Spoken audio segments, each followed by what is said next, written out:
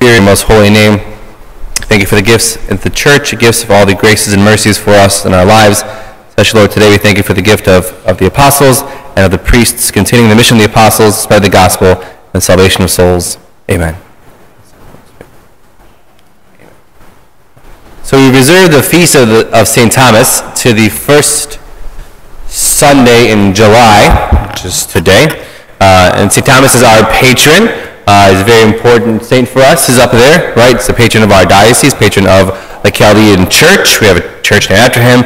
Um, he is the individual, the apostle, who, uh, after Christ resurrected, etc., sent and he came through Iraq, the northern area of Iraq, and then ended up in India, where he is still buried till today. So it's a very important part of our lives. So in, the, in our diocese here, especially, we have uh, ordinations. We have ordinations to the priesthood near the Saturday before uh, the feast of St. Thomas to commemorate that. The majority of the priests in this diocese uh, were ordained around this time. My anniversary was yesterday. I believe Father Matthew Bashar's is today. Tomorrow is Bishop Francis's priestly anniversary. Uh, I think as well as Father Rudy's. So they're all in the same general vicinity, same few days, few weeks uh, of the uh, Feast of St. Thomas.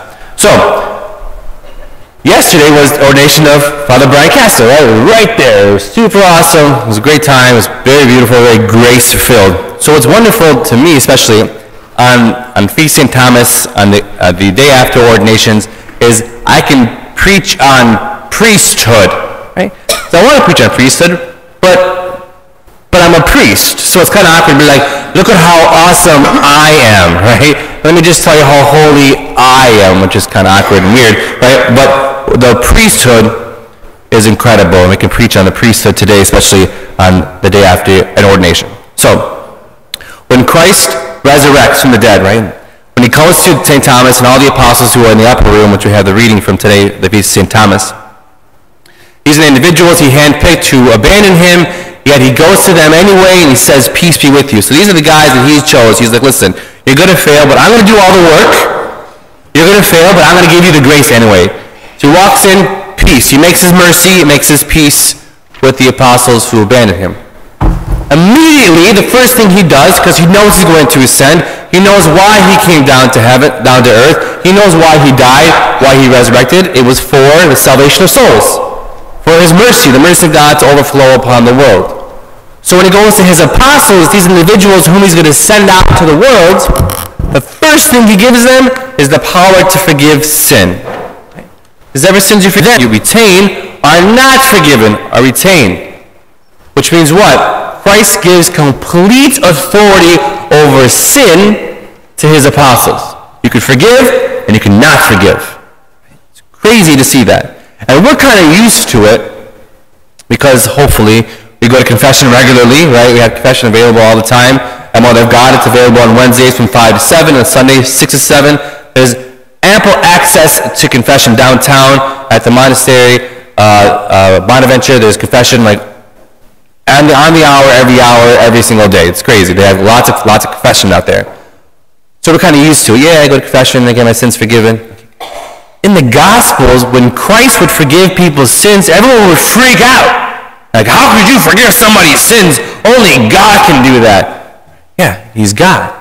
So when he resurrects and he gives us authority to his apostles, that's why he wanted to incarnate himself. That's part of his mission. That's a huge part of his mission. So the apostles handed on the same authority, same authority, same authority, down to the priests of today, down to me. That when I extend my hand and I say, God the Father of mercies, to the death and resurrection of his Son, has reconciled the world to himself. Through the ministry of the church, may God give you pardon and peace, and I absolve you from your sins. In the name of the Father, the Son, the Holy Spirit. Amen. It didn't count for the record, right? So, but that's the prayer, and you're forgiven. Okay, yay, I'm forgiven. You walk out like you were baptized. Completely wiped away of your sins. And Christ wanted to give that, and he continues that, and he continues that today in the priesthood at his mercy, which was a big, big, big part of his mission in his in confession, in act of confession. Now, as a priest as well, we give the authority to anoint, right? St. James talks about in his letter to call the presbyters to come and anoint the sick. That a priest goes to the sick, and I love going to the hospitals and praying with people, praying with the sick, whether they're five minutes from dying or whether they're you know, just ill and need someone to pray with and hear the confession and give them God's grace and God's comfort. We give them Jesus. Priests come and bring Jesus with them. Oftentimes they bring the actual Eucharist and you receive the Eucharist. And we learn now that suffering is no longer empty. Suffering is no longer this thing that we try to avoid with every ounce of our being. Suffering is a part of our Christian living. That we can embrace our suffering with that of Jesus. And the priesthood, the priest brings that grace, brings that ability to say, be comforted, find peace in your suffering, Find peace in your illness. Find peace in your death. Because Christ has conquered it with his own suffering, most importantly, with his own resurrection. Now, Christ, again, in his wisdom and in what he came to establish, will give the world sustenance, the food for the journey. So Christ knew he was going to die. He knew he was going to resurrect. He knew his ministry was coming, his earthly ministry was coming to an end. Sits his apostles down. So listen, this is my body. Take it, eat it. This is my blood. Take it, drink it. Eat and drink. Find that food for the journey, because it's going to be hard. It's very challenging to find the path of salvation, path to get to heaven. So here's the necessary means. Here's the food for the journey. Well, how do we, how do we, do I put this in a box? Jesus, how do I keep this for, there's a lot of people in the world. How do I fit everybody? all of you, every single one of you as priests, as Christ talking as apostles, and you'll continue down to your bishops and your priests, you say a relatively simple prayer over relatively simple elements. Wheat and water mushed together and baked.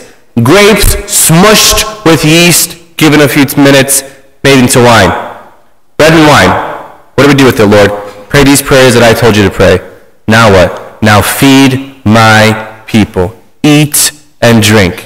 How? Through your hand. That's crazy. I know. That's insane. I'm aware. That's out of this world. Exactly. Right? That we can become like Jesus. That here in every Catholic church across the world on this Saturday, on this Sunday morning, we have the ability to receive the body and blood of Christ. How? Through the hands of a weak, sinful priest. That Christ wanted to gift the church with these awesome things with his mercy, with the ability to comfort through suffering, with the food for the journey, to eat and drink his body and blood. He chose men. I don't know why. I would have done a different task. I would have made a different format to do this, right? I would have chose priests. He can no idea how much of a sinner I am, right? But God did choose. So we continue it. And it continued yesterday with Father Brian, right here, being ordained to the priesthood, and Bishop Francis, continuing on the priesthood through his authority as a bishop, and it will continue, and it will continue, and it will continue. And when you look at a priest, it's kind of funny walking around in clerics. If you ever walk around in clerics, it's just, yeah, anyone here a priest, right? So it's, uh, it's interesting, right? It's just kind of like, huh, everyone keeps looking at me. I'm the weirdo in the crowd, right? Like, I can know how girls feel now. Like, excuse me, my eyes are up here, not on my collar. They're up here. Stop looking at my collar. I'm a, I'm a person, okay? I'm not just my collar. So but it's interesting, like how often do you see a priest in a grocery store? Probably not very often. How often do you see a priest at the mall or like pumping gas, right? And I do all those things, right? Like, so when people see like, oh my gosh, it's a priest. Oh my gosh, see this priest over there. I'm like, okay, hi, right? And then some people are like excited, like, hey, Father Pierre. Some people are like scared of me because they're not used to seeing priests around. But they bring the image. Hopefully, when priests walk into a situation or a room or the grocery store, hopefully the image we get is Jesus. Once again, not that he's an individual and holy, but the priesthood, what represents is holy. Because as St. Paul says, he's talking about how he's a fool for Christ's sake. And all of us should be fools for Christ's sake, right? We really should be. A priest and religious and nuns, especially, but today we're talking about priesthood, are, are that example. Like, how could you possibly be happy? Happiness comes in sex, power, and money. How could you lay down all of those things? You're welcome there. Say, I give up all these things willingly, wantingly, and I'm happy. The vast majority of priests I know are happy. The vast majority of priests I know have no ulterior motive for priesthood. Right? Time, year after year after year, statistically, in Time Magazine and Newsweek and all these things, the amount of money made his happiness, priests and clergy are always top three. Always. Why? Because we don't live for money or for sex or for power. It's just the joy of giving people Jesus. The joy of bringing the same mission, continuing the mission that Christ gave the world in his church of his mercy, of his anointing, of his sustenance, of his eating and drinking. To continue that in the world just pours out so much joy. So when St. Paul continues, and he says, we become a father to you all. This word father, right? Oftentimes Protestants can kind of poke at the word father because God, Jesus said, don't call no man father, etc. They kind of poke at it, the tradition. Why? Because I'm a father.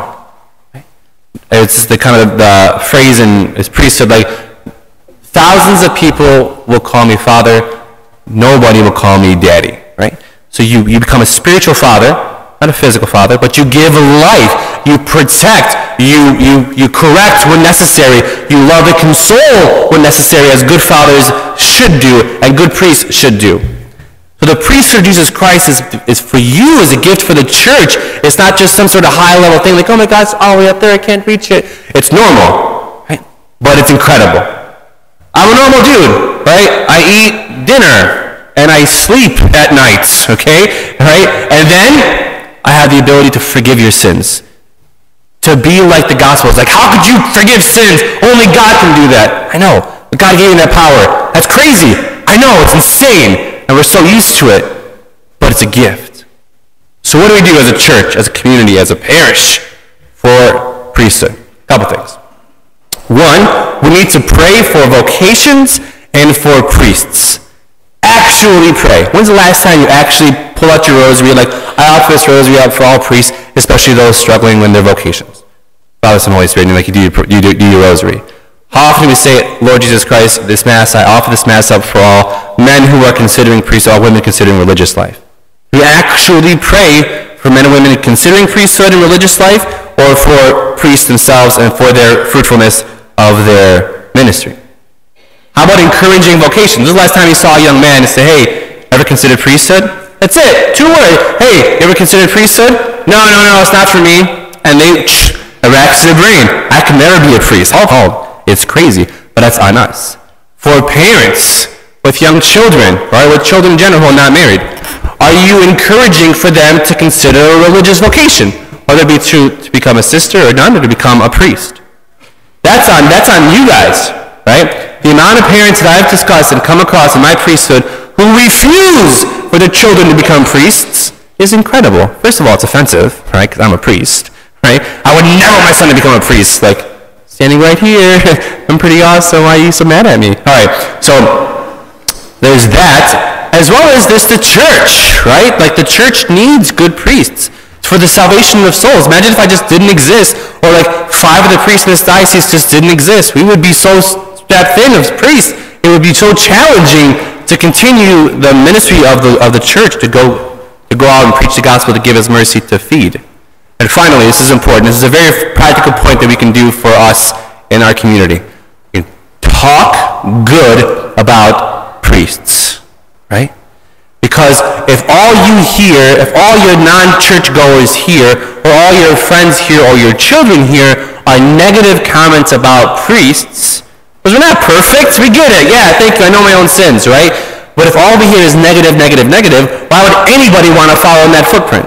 Why would anybody want to come to church and hear anything I have to say if all you hear about priests is negative, negative, negative, negative? Of course, we're not perfect. There's been scandal in the church and priests since the very beginning. From Paul and Barnabas, Peter and Paul argued and fought, and it's in the, it's in the scriptures. Right? It's part of it. It's part of the reality of who we are as men. But if we hold myself accountable, and I challenge you as my people, as my people that I take responsibility for as your father, I challenge you to hold me accountable to my ministry. And I challenge you to hold other priests accountable to their ministry that we could all continue the mission of Jesus, the purpose of why he came, the whole purpose of the creation, of the incarnation, of the suffering, the death, the resurrection of Jesus. We can continue together for the salvation of souls and the spread of the gospel, for the salvation of your souls, for priests of your community, for your children, for your great, for your grandchildren, for your great grandchildren, for their salvation for their mercy, for them to be fed by the priesthood of Jesus Christ. Amen.